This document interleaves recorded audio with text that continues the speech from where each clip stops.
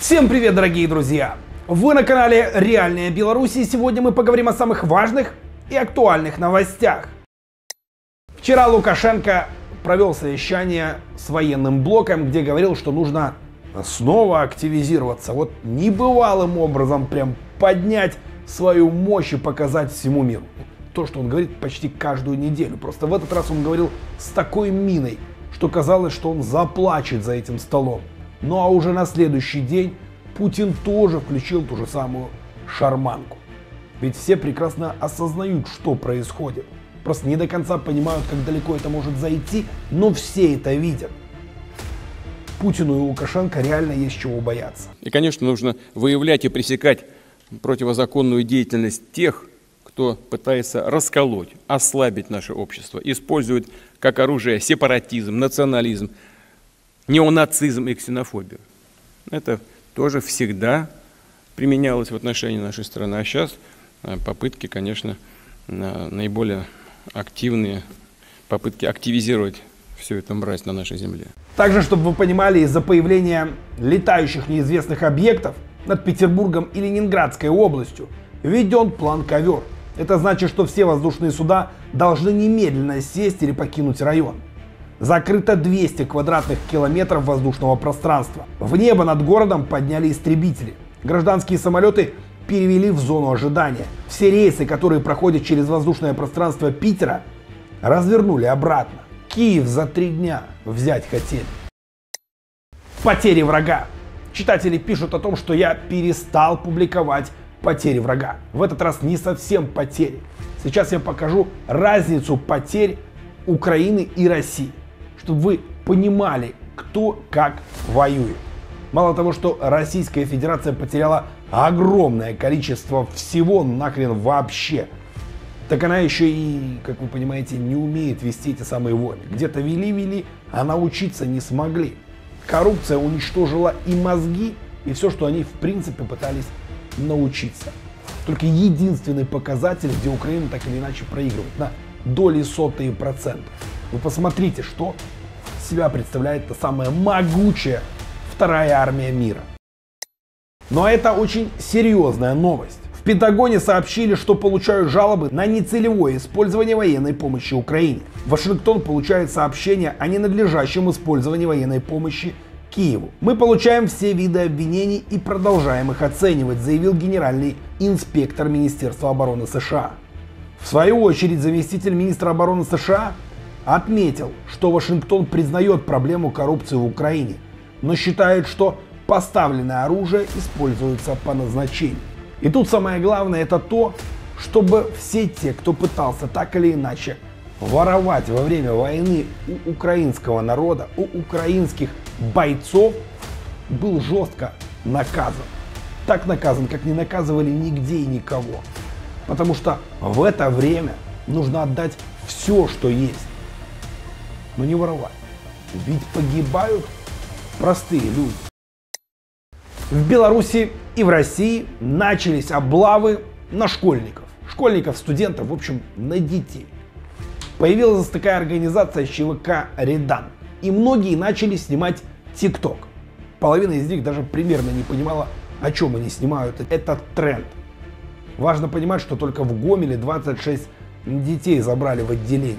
И, скорее всего, с них тоже будут вымогать деньги. Тюрьмы переполнены в Беларуси, а денег на мусоров не хватает. В Российской Федерации бунт. Но не из-за войны, не из-за того, что русское правительство пытается уничтожить украинских людей, инфраструктуру. Нет. Не из-за мобилизации, нет. Из-за завода «Аммиак».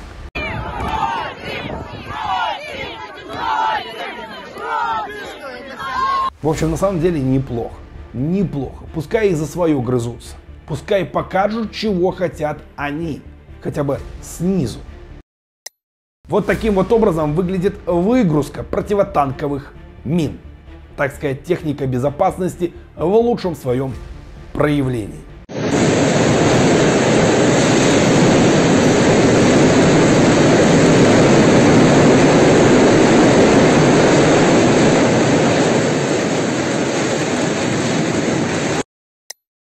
Финляндия приступила к строительству стены на границе с Российской Федерацией.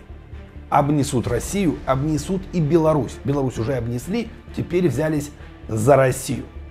Это еще раз подтверждает, что с той стороны никто нападать не собирается. И когда обносят Лукашенко стеной, это еще раз подтверждает, что никто нападать не будет. Ведь не будет нападающая сторона забором тебя обносить, не так ли? Газманов жалуется, что у него отобрали в Италии и там, в других странах Европы недвижимость. Ну, у меня фактически отняли две квартиры. В Латвии и в Италии. Я когда, кстати, вот говорю в таких интервью, сразу целая куча опять бандерлогов набегает. Ага, получил там и так далее. Да, конечно, я... Причем они внезаконно э, это делают, потому что вот в Италии, например, объявили, что заморожена квартира. У них нет в законе слова «заморожено». У них что такое? У них это частная собственность. Я купил там квартиру 15 лет назад. И в свое время, когда, ну, начало перестройки, у меня появились деньги, и мы ездили туда всей семьей отдыхать. Мне нравится туда ездить. Нравилось, по крайней мере. Сейчас заморожено. Они объясняют тем, что боятся, что я эту квартиру продам, а деньги направлю на поддержку военной операции. Ну, вот такого у них нет в законе. И а они, вы пытались и они, этим вот смотрите, вот очень интересно. То есть это моя частная собственность. Я ее купил. И слово «заморожен», то есть мне теперь, я не имею права, как и в Латвии, кстати, продать эту квартиру и сдать в аренду. И не имею права вообще пользоваться этой квартирой. То есть что это не, не иначе, как это просто отняли, и, и цинично еще заставлять меня платить коммуналку, а если не будут платить, то тогда... То есть вы еще платите налоги за да. эти квартиры? Сколько бы он ни рассказывал о патриотизме, но если ты такой ярый патриот, который убеждает всю страну в патриотизме и рассказывает о том, что Европа плохая, и покупаешь там недвижимость, ты лжец. Ты хуже тех, кто ну, просто молчит и ничего не делает. На самом деле, если ты так или иначе любишь эту самую Европу, то расскажи на самом деле тем, кто в России, который никогда в жизни не видел, о чем говорит Путин про Европу. Расскажи правду. Ну не можешь же ты на мусорке купить себе коттедж, потому что там плохо. Поэтому ты в России не покупаешь недвижимость, покупаешь в Италии. Российские пропагандисты выпустили видео, в котором показывали, как русские оккупанты доблестно воюют. Чисто! И не хватило у них мозгов понять, что во время военных действий оператор с камерой впереди ну никак не может идти. А если он и идет впереди, то непонятно, почему так солдаты стараются внимательно кого-то рассмотреть. Ну, цирк русский. Подписывайтесь на канал, ставьте палец вверх, помните о политических заключенных и оставайтесь с нами. Живи Беларусь! Слава Украине! Пока!